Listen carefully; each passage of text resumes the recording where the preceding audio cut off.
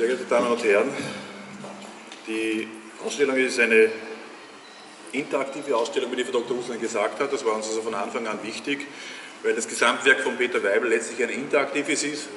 Er hat von äh, seinen frühesten Arbeiten, aus dem Jahr 1965, die wir hier in der Ausstellung haben, oder 66, war die Interaktion das Wesentliche für ihn.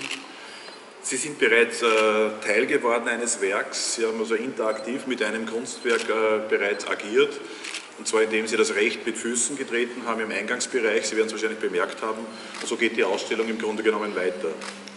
Die, dass das hier alles zusammengekommen ist, grenzt fast einen Wunder. Weil es ist nicht so, dass man dann Sammlungskataloge hernimmt oder einen Werkkatalog hernimmt und nach Arbeiten von Peter Weibel sucht, weil die gibt es letztlich nicht. Er hat also ein umfassendes Werk, ein sehr großes Werk, aber es ist nicht wirklich greifbar. Die Ausstellung, würde ich meinen, haben wir generiert aus seinen ungefähr 250 äh, Lebenskisten, so würde ich sie nennen, die in unterschiedlichen Städten, in unterschiedlichen Depots und Wohnungen äh, äh, logieren. Und äh, ich würde meinen, wir haben fünf oder sechs, vielleicht oder sieben Kisten konnten wir öffnen. Eine hat er noch vor drei Tagen gebracht in einem Reisekoffer mit wunderbaren Vintage-Prints, die wir ebenfalls hier in dieser Ausstellung sehen. So gesehen ist das, äh, das Werk von Peter Weibel ein nahezu unerschöpfliches, also ein unglaubliches Reservoir an Potenzial und ich glaube, dass das auch hier diese Ausstellung äh, ein allererster Schritt ist, um auch den Künstler Peter Weibel äh, den Leuten einmal näher bringen zu können. Die Schwierigkeit von Peter Weibel ist eigentlich, das ist die erste Ausstellung, erste wirklich große Museumsausstellung, die ihn als Künstler zeigt. Als Künstler ist er am wenigsten greifbar, weil ich glaube, dass er sich selbst im Weg ist, vor allem als Künstler. Und zwar, weil er halt einfach alles ist. Also wie gesagt, er ist ein Musiker, also er hat also einfach unendliche äh, Funktionen, er hat un unglaubliche Fähigkeiten, die wir natürlich auch im Zusammenhang mit der Ausstellung alle hinterfragt haben. Das geht dann so weit, also bis Interviews, also wir haben ja beschlossen, einen Katalog zu machen, der nur mit Interviews arbeitet. Also wir haben insgesamt haben wir fünf, äh, wir haben neun Interviews gemacht das ist aber nicht so, dass man sich mit dem Peter Weibler hinsitzt und sagt, so jetzt machen wir das innerhalb von einer Stunde, sondern das war so ein unendlicher Prozess. Und, äh, aber schlussendlich hat dieser Prozess funktioniert und äh, wir haben es geschafft, also einen Katalog mit 488 Seiten zusammenzubringen. Es hat keinen Sinn, einen Kunsthistoriker zu fragen, weil ich kann mir nicht messen mit einem Slotterteig oder irgendwelchen anderen äh, wichtigen Kunsthistorikern oder vielleicht auch unwichtigen. Es gibt viele unwichtige, weil ich habe so vieles von ihm gelesen, das sind Texte, die finde ich einfach nicht wirklich gut. Weil es ist immer dann, wenn man beginnt, sich mit dem Peter Weibel zu messen, dann äh, kommt man sehr, sehr leicht oder gerät man in die Gefahr zu versagen. Und deswegen haben wir gesagt, und das ist ganz gut, wenn ich, also man, Sie wissen, dass ich natürlich sehr, sehr viel mich mit dem Gustav Klimt oder auch mit dieser Zeit auseinandersetze, aber sicherlich einen Faible für die zeitgenössische Kunst habe, habe es in der Regel mit toten Künstlern zu tun. Aber wenn ich aber die Chance habe, also einen lebenden Künstler an der Angel zu haben, dann kann ich es auch nutzen und das war der Grund auch, warum wir so viele Interviews geführt haben. Und es ist wahnsinnig viel dabei rausgekommen. Also diese Ausstellung, alles was Sie hier sehen, ist letztlich auch ein Produkt der Interviews. Das ist das, was Ihr Alltag letztlich ist. Meine ist es nicht so sehr, aber ich habe das wirklich genossen. Und ich sage Ihnen eines, wenn man sich also mit der Zeit von Peter Weibel und mit seinen äh, Zeitgenossen auseinandergesetzt, dann taucht man ein nahezu in einem Paradies für einen Kunsthistoriker. Weil man wird mit Dingen, mit einer Zeit konfrontiert, die so wahnsinnig wichtig war. Ist, letztlich ist es der Nährboden der Gegenwart, der sich also in seiner Zeit, und damit meine ich jetzt die 60er, 70er, 80er, auch 90er Jahre, einfach wiederfindet. Das ist die Basis. Und auf dieser Basis kann man definitiv schöpfen. Und äh, wenn ich auch eingangs gesagt habe, also wir ich habe hinterfragt, wir haben geprüft. Natürlich, es gibt ein Interview, selbstverständlich, über die Wale Export in diesem Katalog. Es ist ein Thema, an dem kommt man nicht vorbei, weil Peter Weibel und Wale Export haben einfach, das, das war das Künstlerpaar schlechthin, das Internationale, das also hier äh, ähnlich wie Bonnie und Clyde, das sagt er auch selbst, agiert hat. Ja. Später dann äh, Ole und Abramovic, aber dann ist es schon ziemlich aus im 20. Jahrhundert, das mit Künstlerpaaren. So gesehen war auch da ein Wegbereiter in gewissermaßen. Aber wir haben es hinterfragt. Das heißt, äh, er hat eine Aussage getätigt und wir haben sie geprüft. Wir haben neben dieser, mit dieser Ausstellung 35 Interviews gemacht, also mit internationalen Künstlern, einfach Namen, die Peter Weibel im Zusammenhang mit seinen Interviews genannt hat. Wir sind hingefahren, haben mit den Menschen gesprochen und haben so wahnsinnig viel dabei herausgefunden. Aber nicht nur Information, kunsthistorischer Content oder zeitgeschichtlicher Content, sondern auch sehr, sehr viel Material. Hans Scheugel beispielsweise, ein äh, großartiger österreichischer Avantgarde-Filmer, Freund von äh, Peter Weibel, der sich auch also im Bereich des Expanded Cinema betätigt hat. Sie erinnern sich vielleicht, das ist einer seiner wichtigsten Filme, weil die alle versucht haben, irgendwie das Medium Film zum Beispiel weiterzubringen. Peter Weibel hat dann gesagt, okay, er hat nicht den Weg, ist dann auch weggegangen vom Celluloid, aber was er noch gemacht hat, zum Beispiel den Fingerprint-Film. Er hat seinen Fingerabdruck genommen, hat einen 35 mm Streifen gedrückt und hat ungefähr, weiß ich nicht, zwei Tage daran herumgedrückt. Und also keine Spielfilmlänge würde ich meinen, aber immerhin. Also einen Film von drei Minuten zusammengebracht. Und Hans Scheugel, den ich vorhin erwähnt habe, der hat die letzte Konsequenz gesehen, indem er einen Zwirnsfaden in den Projekte eingespannt hat und einfach den Zwirnsfaden projiziert hat. Und Peter Weibel dann wiederum geht den nächsten Schritt, indem er sagt, nein, ich brauche keinen Zwirnsvater, ich brauche überhaupt keinen Film mehr. Nicht? Und das sind Werke, die Sie auch in dieser Ausstellung sehen. Aber immer nur leichte Ansätze. Es ist nie was, also wir haben kein einziges Kapitel durcharbeiten können, weil es diese Halle sprengen würde. Wenn Peter Weibel in das Thema Expanded Cinema geht, dann würde ich meinen, da können Sie zwei, drei Hallen füllen. Und wenn Peter Weibel in, das, in den Bereich der Objekte, Installationen geht, dann ist es viel, viel mehr weil er letztlich unermesslich und unerschöpflich ist. Ja? Es ist also er, hat ja auch keine, er nimmt ja keine Rücksicht auch vor Dimensionen. Wir haben hier diese Halle zur Verfügung, die im Grunde genommen ideal ist für so eine Ausstellung. Aber dennoch, es gibt also Werke von ihm, die er konstruiert hat, da reicht das nicht. Der hat, der hat Installationen, die brauchen eine ganze Stadt. Er hat Luftaufnahmen gemacht. Da gibt es also ein Projekt, das heißt der stöhnende Stein. Das ist da ganz hinten in der Ecke zu sehen. Also wenn Sie in die Ecke gehen, in den Musikbereich, dann werden Sie auch den Peter Weibel stöhnen hören, oder besser gesagt seinen Stein. Aber die Vision, die er hatte, das war eine ganz andere. Nicht? Die Vision war im Grunde genommen ein Riesenstein, eine, mehrere hundert Meter groß, äh, an das, äh, an, in das Donautal zu geben und, dort, und ihn dort stöhnen zu lassen, ihn dort zu konfigurieren, ihn dort zu positionieren.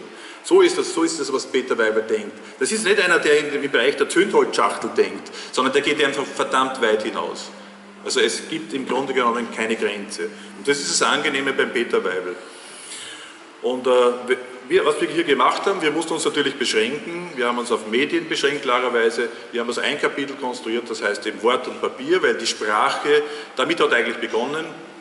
Ich möchte jetzt nicht die unendlichen Funktionen und Fähigkeiten von Peter Weibel aufzählen, aber wir wissen, dass er sich sehr intensiv mit der Sprache auseinandergesetzt hat. Er war ja, war ja auch Logiker, also er hat Logik studiert, er hat Mathematik studiert etc. Also mehrere Studien gemacht und manche, die meisten auch gleichzeitig.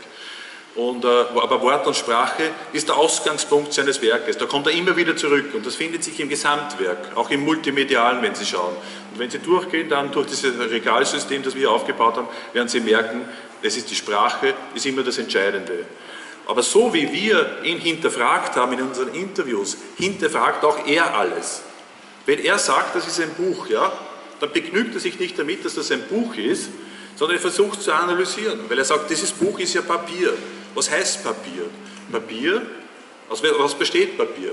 Und so geht es weiter. Und dann sagt er, ein Buch besteht aus Seiten, weil ein Buch ist ja nicht nur Buch, ein Buch sind ja Seiten. Ja? Und ein Buch allein kann ja nicht existieren. Es gibt nicht ein Buch, es gibt ja nur viele Bücher. Das sind so Gedanken, die er hat. Er hinterfragt permanent und er kann nicht aufhören. Der wird sein ganzes Leben wird er weiterfragen und wird weiter analysieren. Zum Beispiel, nur mal ein Beispiel am Ende, bei den Objekteninstallationen, da hinten sehen Sie die Scanned Objects. Dann denkt er und überlegt, gut, der, die Videokamera nimmt auf in Streifen. Ja, 1200 Streifen ist ein Bild. Und dann versucht er das zu übertragen. Er sieht die Gegenwart und denkt sich jetzt, da habe ich jetzt eine Tür. Was macht die Videokamera? Zerlegt die Tür in 1200 Streifen. Also ich würde mal meinen, Ihr Ziel wäre gewesen, die Tür in 1200 Streifen zu zerlegen. Das ist ihm damals nicht geglückt. Also wir reden ja von einer Zeit, die, 20 Jahre, 30 Jahre zurückliegt. Aber dann hat er eine Tür zerlegt. Die hat eine gescannte Tür. Die heißt dann Scanned Objects. Und wir haben also hier fünf oder sechs Objekte hier, die er dann zerlegt hat. Und das ist es. Er ist dann äh, überschreitend. Er überschreitet die Medien. Nicht? Das, das hat eigentlich Objekte, das aus der, aus der, aber, aber generiert wird aus der Medientheorie. So ist das, das ist der Weg, den er arbeitet. Ja? Und das kann aber dann weiter transferieren. Das kann dann auch ein Film werden wieder. Ja? Oder das kann dann auch ein Buch werden. Das kann auch ein Text werden oder ein Lied.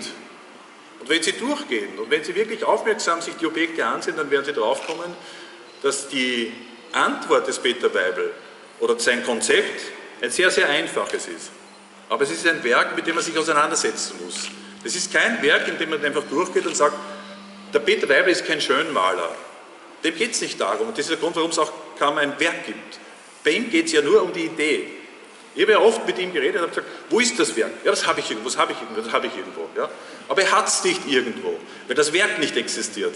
Weil bei ihm geht es um die Idee, das ist das Wichtigste überhaupt. Ich sage mir gar nicht, es geht um einen Gedanken, bei ihm geht es um die Idee. Und das nächste, was er dann macht, das ist das Experiment. Das ist wahrscheinlich die wichtigste Phase dann. Und dann versucht er zu experimentieren. Und viele Experimente, und dafür ist er auch bekannt, sind auch gescheitert. Aber dennoch war es wichtig, weil er im Grunde genommen seine Idee hinterfragen wollte. Und am Ende das Kunstwerk, das ist eher zufällig entstanden. Wenn es für eine Ausstellung gemacht worden ist, dann existiert halt ein Kunstwerk. Aber im Grunde genommen ist für Peter Weibel die Kunst zu Ende, wenn er die Phase des Experiments durchgemacht hat. Andere Bereiche noch, also Schrift und Papier hier. Es gibt natürlich ein politisches Werk. Wir haben also einige Werke, klarerweise, die, die weggeschmissen worden sind, die er weggeschmissen hat, die Ausstellungshäuser nicht mehr benutzt haben, haben wir aufgrund seiner Skizzen also nachgebaut. Zum Beispiel das Rad des Realen, das Sie da draußen sehen, das war aber in Graz, aber auch in Mack zu sehen. Dort hat man es abgebaut und weggeschmissen. Wir haben es hier aufgebaut und jetzt kann man das auch ausleihen. Das ist der Vorteil, wenn wirklich eine große museale Institution sich mit einem Künstler wie dem Peter Weibel auseinandersetzt. Dann gibt es auch ein Werk und mit Ende dieser Ausstellung werden wir auch ein großes äh, Werk von Peter Weibel in der Sammlung des Belvedere haben. Im Eingangsbereich beispielsweise sehen Sie eine wunderbare Arbeit, eine Neonarbeit, das ist ja nicht das rezenteste Werk überhaupt, in dem man sich mit Begriffskunst, mit Begrifflichkeit, mit Wörtern auseinandersetzt.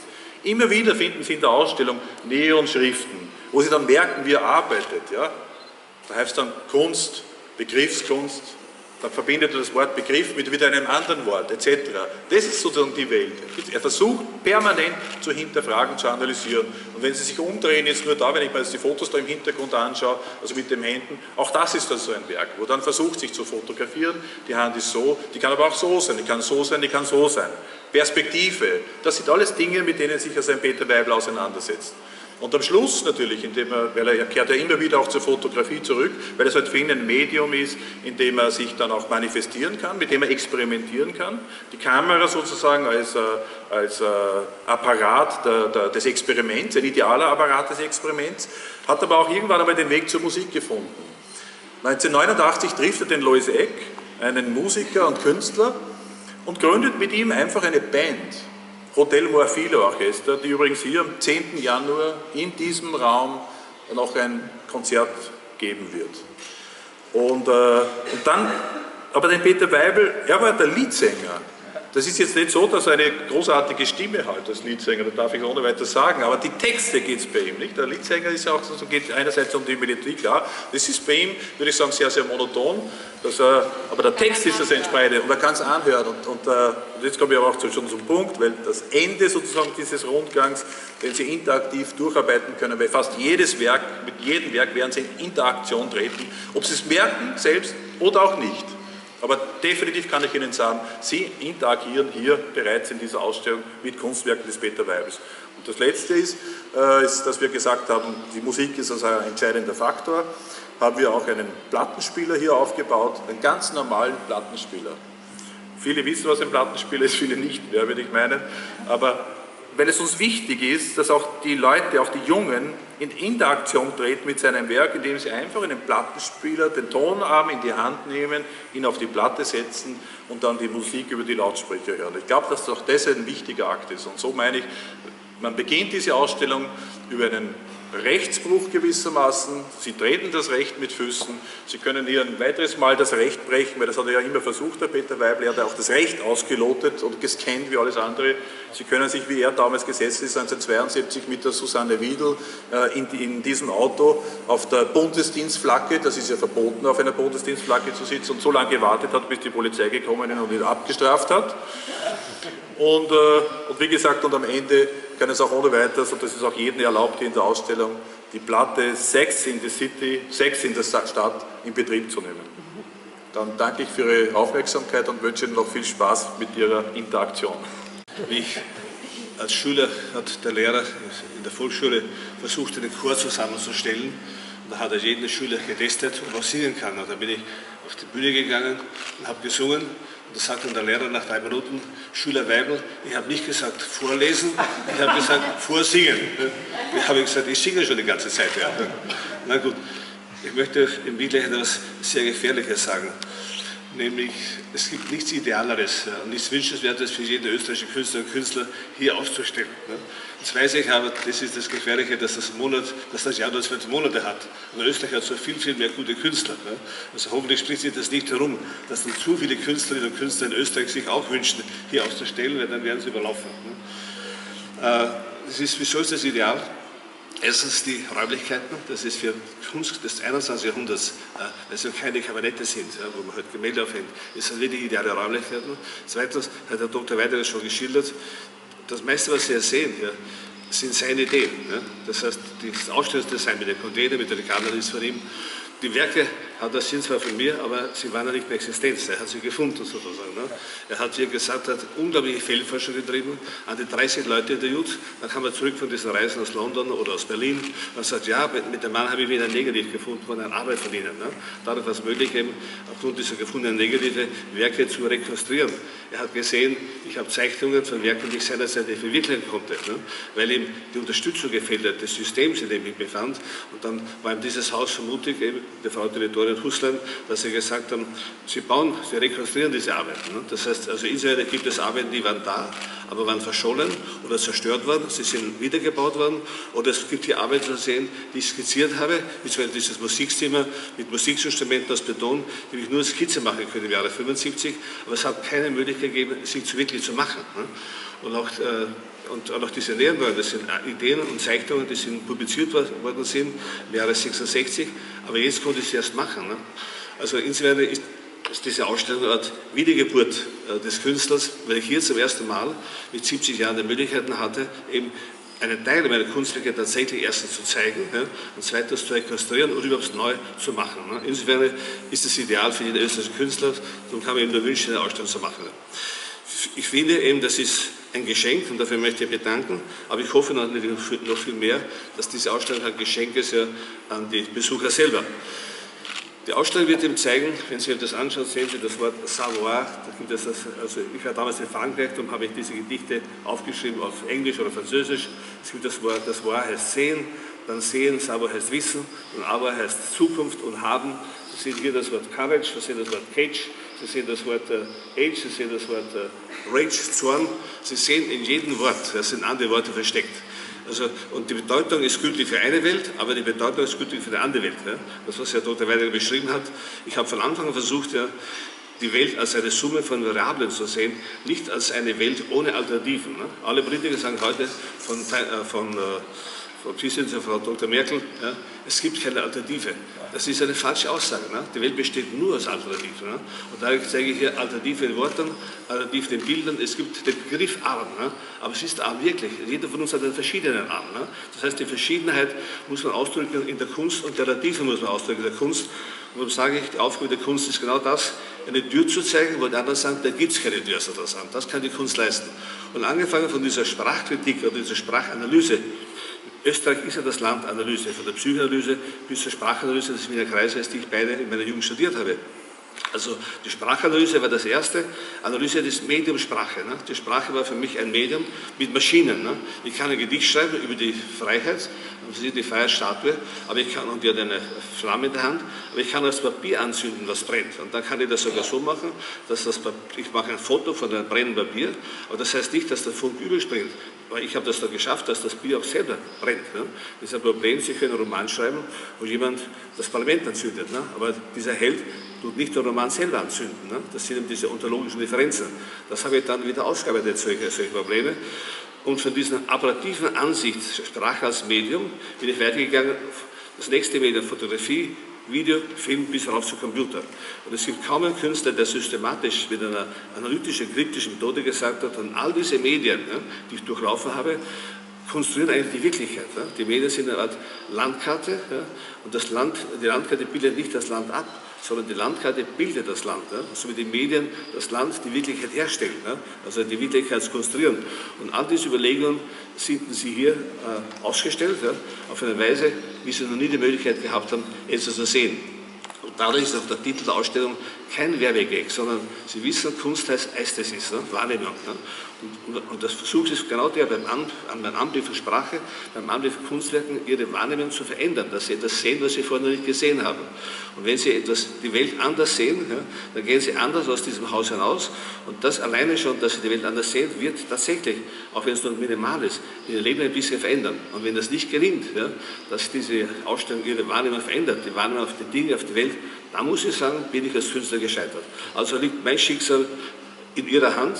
Zuerst ist es in deren Hand, weil sie mich was ausgestellt haben, und dann liegt es in ihrer Hand, ob das gelungen ist, mit Kunst sozusagen eine Veränderung zu bewirken. Ich noch einmal, wir danken mich außerordentlich bei Dr. Huster und Dr. Weidinger, dass sie uns allen, nicht nur mir alleine, uns allen, die Möglichkeit gegeben haben, durch Kunst eine Wirklichkeitserfahrung, eine Wirklichkeitsveränderung, eine Wirklichkeitswahrnehmung zu erleben, wie es nur die Kunst ermöglichen kann. Danke Ihnen.